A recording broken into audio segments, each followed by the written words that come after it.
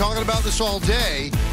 The Yankee closer situation, and Aaron Boone has addressed it. And uh, my good buddy Jack Curry of the Yes Network is tweeting out what Boone is saying.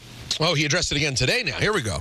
Pre-game. Boone said the Yankees will get quote unquote creative with the closer role in the short term.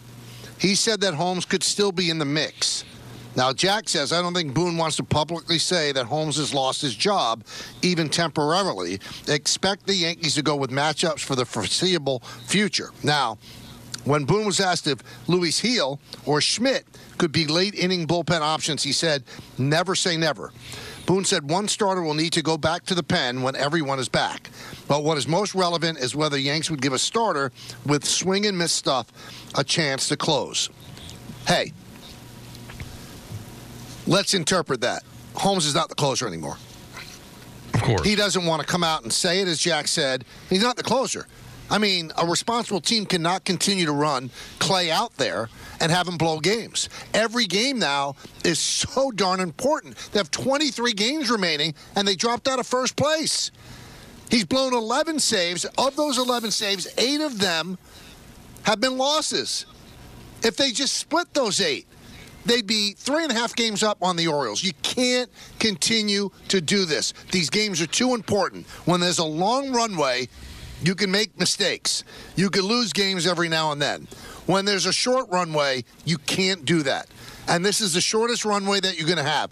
These 23 games are going to be like playoff games for the Yankees. You can't have a closer who just completely melted down on the mound yesterday and lost a game the Yankees should not have lost. It's the eighth game this year that they have lost when leading in the ninth inning or later. This was the only thing for them to do. Now, do they have a ready made closer? No. Creative is the best way to put it. Find lanes. See what you got. See if Luke Weaver has the stomach to do it. See if Jake Cousins can do it. See if Ian Hamilton comes off the IL and can do it. Check them all out. Yep. You got to do it, Don. You got to say, okay, there's Well- two lefties coming up in the next three. Maybe today we'll go with Tim Hill. You just don't know. You can't continue to give the ball to Holmes. You can't. Now, this is not a surprising announcement. We knew that Clay Holmes was not going to be closing. But what I found interesting was we're going to have to get creative, which tells me they don't have a candidate. They don't. They're now searching for it. So they're going to they're going to try. Uh, we'll see who's up first, uh, and th- they will try until they figure somebody is right for that role. So the question now becomes, Michael, like how many games could possibly be lost while they're trying to figure this out? So now everything's up for grabs. Like you could be happy that Holmes isn't going to close, but you're not going to be happy until they finally find somebody that can do it. So how, how many blown saves might there be before they discover that guy? And how d- big of a hole will they dig while they look? Well, we might find out tonight because Holmes couldn't be used tonight anyway. And I do agree, there might be a game where Holmes ends up closing the game. And that could be because you've used up all of your relievers before, and then you, you, you came back and you're leading a game going to the bottom of the ninth inning that you didn't think you were going to be leading, and he's going to have to close the game. But in terms of going to him every single time, if he's rested, when you have a lead, those days are over. You can't you can't risk it. It's too important. Too important. And I said this at the beginning of the show, and I truly believe it. It's going to be awfully tough to win a championship if they get in as a wild card. Too many layers, three game set. You might lose two games just like that, mm-hmm. and all of a sudden your season's over. You want your first playoff series to be a best of five division series. You just do. It's imperative. How do you rate this Yankee team's starting pitching at this point? I think their starting pitching is fine. I think Rodon was excellent yesterday, Peter. Um, Cole has pitched to about a 1.9 ERA since the beginning of August, so looks like He seems to have found it. He looks like he's found. it. I don't think he's all the way back, but even not all the way back, he's still one of the better pitchers in baseball. S- Stroman? Stroman has been great since the beginning of August. His last five starts have been on the money, so they've got plenty of options um, starting wise. It's their bullpen now that has to Well- be figured out. But I, but I, the reason I ask is, is because if you didn't feel that way, if you don't feel that their that their starting pitching is at least clicking and very good, how many teams win championships without any bullpen, uh, any closer to speak of, and a, a sub-average or average pitching staff? It, that that means you shouldn't even really be thinking about championship. But the fact that the you, that you believe the pitching staff is there right now, maybe that gives you hope that if their bats uh, Yeah, stay but- alive, get alive in the playoffs, they could go on a run. But to me, it's not as relevant because no nobody's pitching any complete game. You're going to need a closer, no matter how good your starting pitching Yep. is.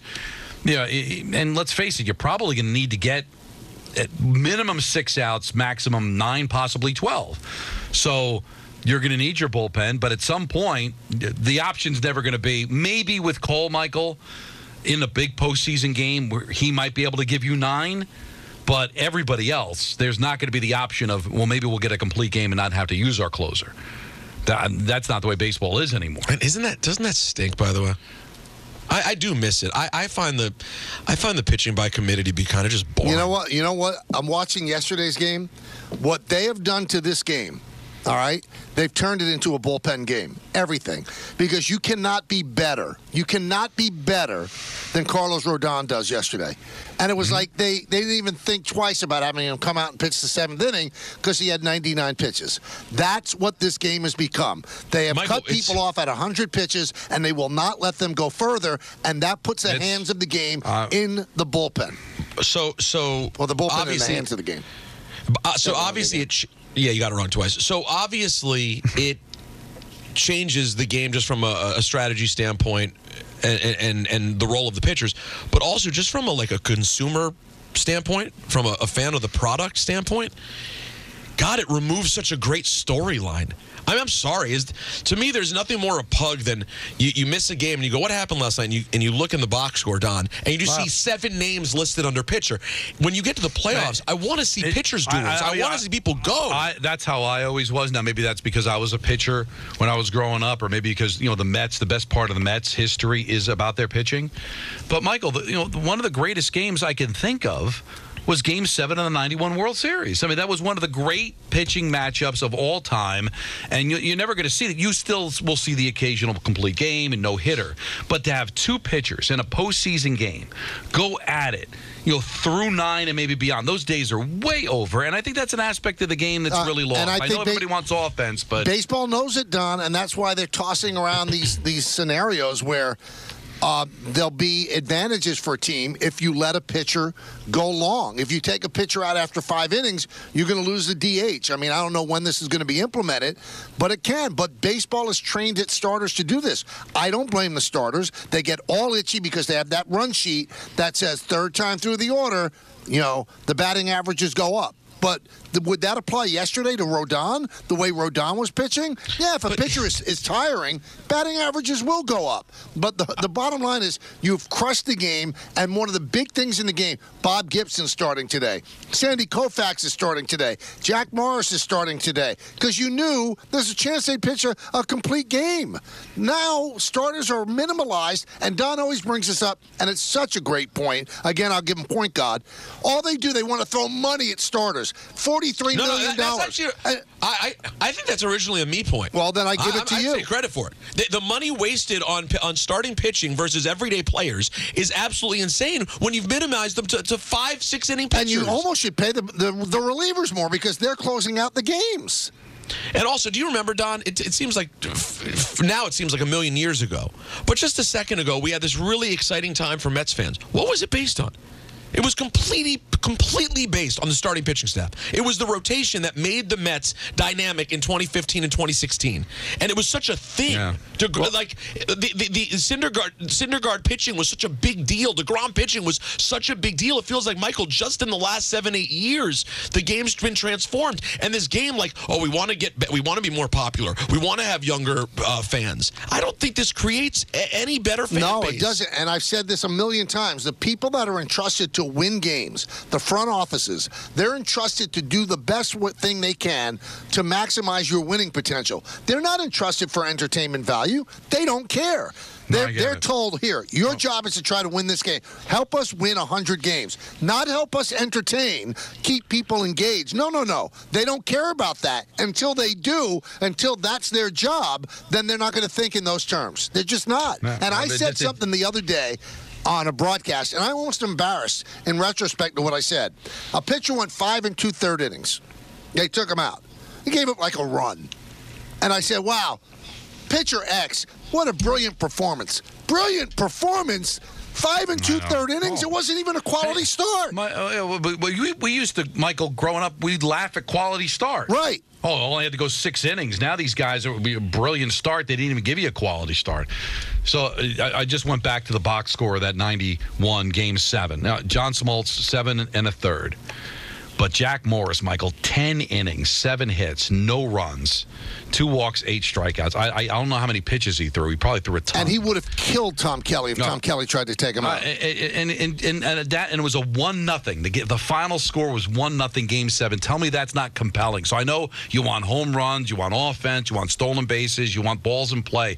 But sometimes when you get that kind of when you get two future Hall of Famers pitching against each other in a decisive game, and and see a guy go ten innings for the win for his team to capture a World Series, I, I think that's entertaining too. And that would never, Michael, that would never happen today, where you'd see a starting pitcher. I don't care how well he pitched, pitch into the Well, let, us just look at the Yankees. In a game that they had to win against Cleveland in the playoffs, they started Deivi Garcia and they used him for one inning before they went to J Happ. So they tried to get cuter than cute, and it blew up in their face. It did. So. Yankees tonight against the Rangers. Stroman uh, is against Eovaldi. And then the Mets tonight trying to sweep the Red Sox. Red Sox right now, their playoff hopes hanging by a string. Hanging by a string. The Mets are just a, a half a game out behind the, the Braves. And, and Don, you said this earlier. They got a chance to catch all of the wild card teams. Yeah. I don't think they have a chance to catch the Phillies to win the East. No. But I, I still think, I'll still hold firm because I don't like the flip flop. But I think the Padres are better. I think the Diamondbacks' offense is better, and they have good pitching. And the Braves have winning DNA. So I think the Mets still might fall short, but they are may. really trying to change my mind. But the numbers, just because everybody's focused on the Braves, because you're only a half game back, one back in the loss column. You're only three back in the loss column of Arizona and San Diego. And I would, I would think, Michael, I don't have the schedules in front of me that the Padres and Diamondbacks will likely play uh, down the stretch. So uh, I'm just saying, the Mets continue to play the way they're playing. Uh, then I think everything could be open, with the exception of the division. I'm with you. I don't think there's enough time for that. But with 23 games left to play, and the way that they're playing right now, um, that that you got to feel pretty good about their chances of being able to at least be in this thing right to the bitter end. And maybe maybe the playoffs certainly are on the table. Didn't feel that way a week ago when they were four back, and now they're a half game back. We have the Mets and the Red Sox following our show, coverage of the uh, Mets and the Red Sox, right here on 880 ESPN. Peter, what did you think of um, uh, the city of Camden, New Jersey, trying to get the the, the Sixers to move there? Um, I don't think I the nev- Camden Sixers would have rolls off your tongue. Well, I- how, how legitimate a shot do they have at this Pretty possibly- big because that's where that's where their practice facility is, and they're offering them the world. That- but I think they would still stay the Philadelphia 76ers Yeah, maybe. Because Camden is a suburb of Philadelphia. It's right there, as you said. The Flyers and the Sixers train there. So it wouldn't mean anything. It would just be like here. It would just be one of those Washington like, plays like, well, in it's like the Landover. Jets and Giants playing in East Rutherford. That's the way it would be. All right, let's get take some phone calls before we go to uh, coverage of the Mets and the Red Sox. Kurt in Port Washington. Kurt, Hey guys, how are you? good. How are you doing? Good, good. We've spoken many times, and I know I brought this subject up, but I, I want to bring it up again. Um, you say teams don't care about innings limits anymore, but my question is this: Wouldn't Gil be a great closer? I mean, Clarke Schmidt is coming back, so that's their dilemma: is dealing with a six-man rotation. So Gil throws 100 miles an hour. He has great stuff. I think he'd be Yeah, but there's only uh, he, he's got swing and miss stuff, Kurt. I would agree, but he walks so many people. You can't you can't walk people in the in the ninth inning trying to close a game. So that But, would I mean, really make me he- nervous. Isn't he a better option than Holmes? In my opinion. Well, I mean, right now you're better trying to find somebody to replace Holmes, but I mean, if we're looking I- for the perfect replacement, you don't want a guy who walks that many people. But I think he deserves a chance. I mean, he might be one of the guys they bring in there to try to do it. I don't know.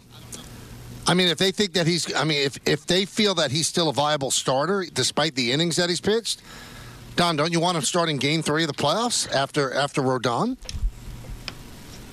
Oh, I, I- think the idea is to not try, but I think he'll get a shot before Holmes comes back.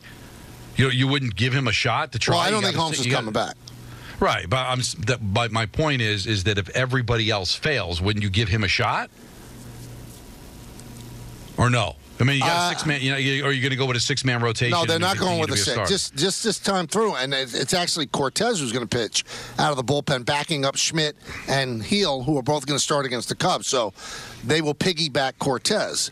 But then they say Cortes will come back and pitch against the Red Sox. So I don't think they want to. They they, they want to stay away from a six man rotation. So one starter is going to go out. Now, if you ask me, well, what starter is best suited to close, has the best stuff? I'd say Gerrit Cole. But you don't want to do that because he doesn't walk people and he, he can strike you out. The second guy I think that translates is is Gil, but the walks are a concern. Walks are a concern. yeah. Daniel and Stamford, Hey, what's going on, guys? how you doing? Uh, Michael, first of all, we have the same barber. I think that's pretty cool. A little small world. That classic There you go. barber, Junior. Yeah, uh, no. So I actually have his brother, Tony. He's done my hair for 25 years. I've got He's Junior. done my He's entire great. life. He's the only barber I've ever had. He's great. That it's Yeah, a great both place. Um, so I I'm calling because I and this is kind of just a fundamental thing that I've I've noticed with Cashman and I and I think all of the transgressions with this team stem from him mostly. Just because I think that he has a tendency to to want to be cute. He wants to do the cute thing. And and Michael, you've harkened back to this back in that uh, that series against the Rays uh, uh, in the postseason, where he had I can't remember the pitcher, but he had him come in. Was that again? That, that, that it would be Deivi Garcia and then and Jay Happ. Yeah, Yeah, yeah, and he tried to get cute there, and he's and he's doing this with positions too. He's doing this with third base. He's he's trying to patch holes at third base, left field, um, and and now the bullpen, and and it's and he's trying to be the the smartest guy in the room when he doesn't have to be. He has. He has Cashman, uh, uh, not Cashman money, he has Steinbrenner money backing him up, and he's trying to be cute, and he doesn't have to be. He can be you know he can he can bring in people i mean obviously don't bring like you know he doesn't have to go crazy with it but but he doesn't have to be the smartest guy in the room all the time Well, Daniel, I have I have always said this, and I've said it. I've said it to Aaron, and I've said it on the air, so I'm sure the Yankees have heard. They don't have to be the smartest guy in the room. They're the best looking guy in the room. When you're the best looking guy in the room, you don't have to be the smartest. And by the best looking, they've got so much at their disposal. When you have a $313 million payroll, you shouldn't have to get cute at anything. There shouldn't be spots where you have to get cute. You just shouldn't. They have a $313 million payroll. That's why I laugh when people give me, well, the, uh, you know, the Steinbrenners really don't want to win. Really? Then why wouldn't they have a $220 million payroll and make another 100 million in profit? Why? They go to 313, which is higher than anybody, and that's still not good enough to run away with the East? Don't get it. You, you shouldn't have to get cute when you have a $313 million payroll. You shouldn't. But I do think there is something to wanting to kind of flex that I'm smarter than everybody else muscle that, that I think frustrates a lot of fans. Why are you thinking outside the box? Like I've said it before. You you just said it.